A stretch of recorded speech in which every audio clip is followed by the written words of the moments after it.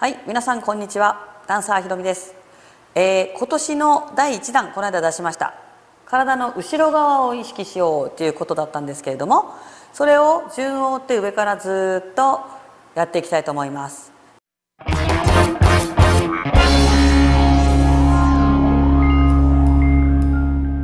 それで最初今日は上からなんですけれどもなんかやはり私の動画は非常にマニアックだと思うんです自分でも。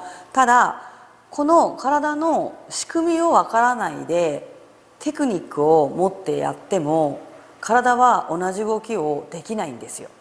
で同じ動きをできる体が気持ちいい動きができるということはやはり自分の体を知るまあよく言うマッピングだったりあと静観する内観吟味とかそういう言葉になるんですけれどもそれで動きっていうのは結局動きの中で動いてる中で見えない体の中の何かっていうものが出てきますからそういうところであの自分の個性みたいなものがこう踊りの中で出てくるのがすごくいいなとでお互い踊った時に気持ちがいいダンス気持ちのいいダンスをやっぱり踊っていきたいなと思っております。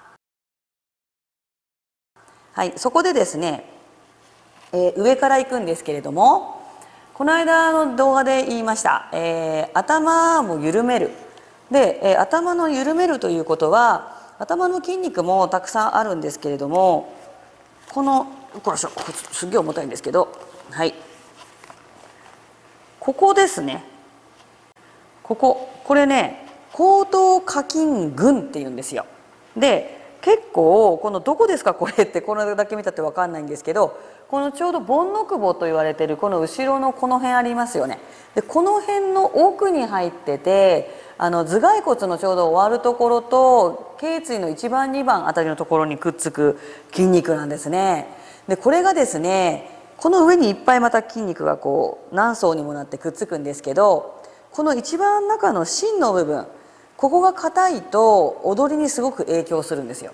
でこの頸椎の緩みっていうのがちゃんとできてくると何でも踊りが割とできてくるっていうことがすごく言えます。でフラクタル構造っていうのがありましてあの例えば手を一つ取っても手の中に体があるとかってこう聞いたことないですか手の中にここが頭でここが目でここがなんちゃらでここがなんちゃらでここがかかとみたいなでこれが全部のなんか人間のこのまあヒロミで言ったらちびひろみみたいなねでこれが全部あの実は体と連携しているっていう感じだとしたら頭っていうのもただ一つこう思ってるけれどもこれに体がもうあるっていう感覚なんですよ。でその一番このネックの部分ですよね首だけにネックここの部分が硬いっていうことはもはやすごく致命的なんですよ。なのでこの緩みっていうのをやりたいって言ったらもうやはりあのたくさんコメントとかいただいたりしてそこを緩めたいんですよってそこまで分かってるんですって。ただ緩め方が分からない。どうやったら緩まるんですかって言ってたからはいお楽しみです。アンサーですということで今から答えるんですけれども皆さん何だと思いますか？何をすれば緩むんですか？ここの後頭下筋群は。まあ言えばスパゲティを茹でてめっちゃ中に芯がある状態になってるってことですよ。食べよう、ダメみたいな。その状態になってるってことですよね。美味しく食べられない。ちょっと緩めてちゃんと芯がなくなったようにアルデンテで 食べられるようなスパゲティになってもらいたい。ここを緩めたい。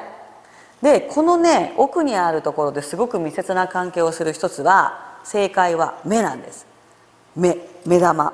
で目玉のこの緩みとこの後頭下筋がすごく密接な関係あります。あともう一個は何だと思いますか？当たったら500円。あげません。えっとねベロですベロ。ベロ？ベロです。ベロって今まで誰か言ったかな？ベロが大事ですって。聞いたことありますか？社交ダンスで。ないですよね。ベロなんですよ皆さん。でねこのじゃあ今日はベロについて。目ん玉はちょこっと何回か前のやつで出してるからそこにまたちょっと言っていただいてもいいし分かんない方は目もう一回教えろよってコメントくださいね。今日はベロについてちょっと言ってみたいと思います。でベロを皆さん何グラムぐらいあると思いますか？なんかね200グラムぐらいだそうですよ。で皆さんね普通に自分が入って立った時にベロってどこにあります？何言ってんの？ベロの位置ですよ。ベロの位置ですよ。でふっとこうやって立った時にすごくいいバランスで立ってる人はこの上顎、まあ、上顎骨とか言うんですか？上の顎の上の顎って分かりますよね？この、はい、上の土手の部分。で下の顎ありますよね？でダンスでは下の顎って使わないから取り外していただいてその辺に置いてください。眼鏡みたいに。で食べる時とか喋る時にまたお付けになっていただく。ダンスの時は外すんですよ皆さん。そうすると残ったのは上顎だけですよね？でその上顎の部分のへっこんだところにペタッてくっついてるのがいい姿勢なんです。でこれねまたねじり鉢巻きをしてねいろいろこう勉強して文献開いてみたところ歯医者さんが結構出してるんですね。あのベロがすごく姿勢を作るだとかベロが下半身のバランスを持っているとかねすごいのがどんどん出てきましたよ。でこのベロちゃん自分がこう立った時にベロの位置です。私今喋ってるからちょっと浮いてますけど普通にこう立ってるとどこにベロがついてますか？いいベロは上に張り付きますよ。で「はあ疲れた」顎が上がってくる「あもう何ヒート目くたびれた」顎が上がっちゃう。ってなった時のベロは下につきます。なのでこの下に落ちてるベロというのはここの後ろのちょうどさっき言った行動下筋がぐっとこう入ってて血流がストップしてしまうんですね。なのでこうなってる状態っていうのは思考停止するって言われてるんですよ。で皆さん知ってるかどうか分かりませんけど昔の体育の授業あるいはあのー、運動場に出てくださいみたいなグラウンドって言わないんだよ。昔だから。運動場に来てくださいって言った時に「はい校長先生の話です。座ってください」って言われた時って昔は正座だったんですね。で今はみんな正座も禁止されてるんですけど正座だったんですよ。ほんで「はい立ってください」って言ったらすぐ立てるような。こういうふうな場所に日本人っていたんですけどいつかねちょっとねあのいろいろなことがありましてから、まあ、戦争で負けてからなんですけれども あの体操座りというのが入ってきました。でその体操座りをしてみますから見てくださいね。こんなの普通にやってますよね。体育座り。でこれどうですか？背中は丸く胸は落ち。そしてその胸が落ちるのの連携として出てくるのがこの乳幼突起がこう下がってきます。そうすると顎が上がりますね。でタックインしちゃってますよね。猫背タックイン。こうですよ。でベロは下についてます。でこれはですね日本に持ってきてしまったんですね。アメリカの方がね。体育座りとしてね。でなぜなんですかね。これね思考停止すると言われてて実は囚人座りと言われてるんですよ。なんかねいろいろまあ諸説あるんですけれどもあのナチスドイツがアウシュビッツにあのユダヤ人を収容した時にユダヤ人頭いいから脱獄とか考えができないようにって言ってこの座り方をさせて頭が働かないようにしたとかっていう説もあります。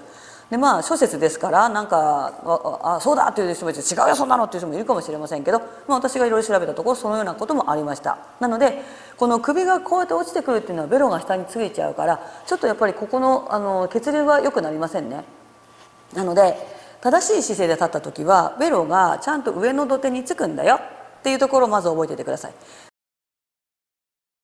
ででも屈伸っていうのがありますよね。私が言ってるやつで屈伸。丸々運動。で丸々運動した時はここが落ちる運動をわざとしてますのでこれと連携して乳幼時が下がりますからこれはベロが下につきます。で今度反る運動。胸がちゃんと肩甲骨がすくい込んででこれと連動して起きるのは胸骨。ここの頬骨ね。これがこういうふうにちょっと回転しますからその時はちゃんと上につくんですね。こういう運動なんですよ。でそうやってやっててずっとやってると緩んできます。で緩んでくるとすごくいいことがあるんですけど、えー、皆さんねベロの軟この上のところ軟口蓋ベロで土手上の土手触ってみてください。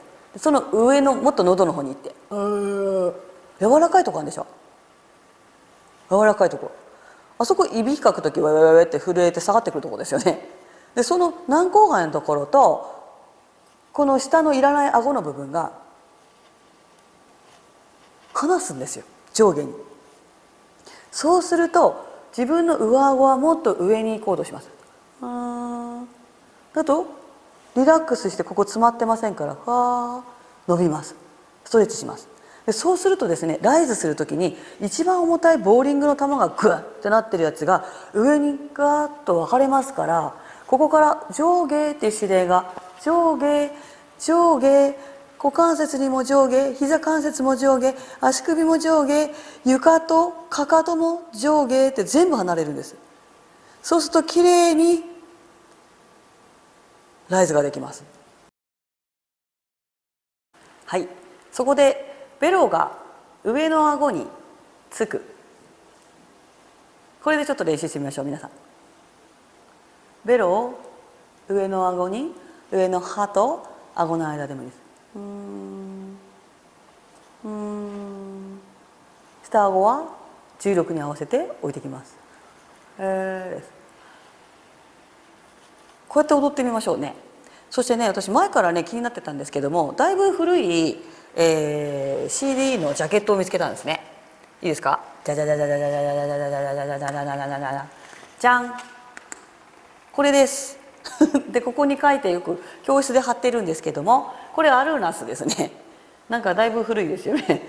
そこにアルーナスのベロに注目みたいな。でこれ何かといったら本当に注目するとアルーナスはベロが上顎にってついてるんですよ。見えますか？皆さん。でこれね CD のジャケットにするからちゃんと踊ってくださいよって言ってさこんな風にならないじゃない？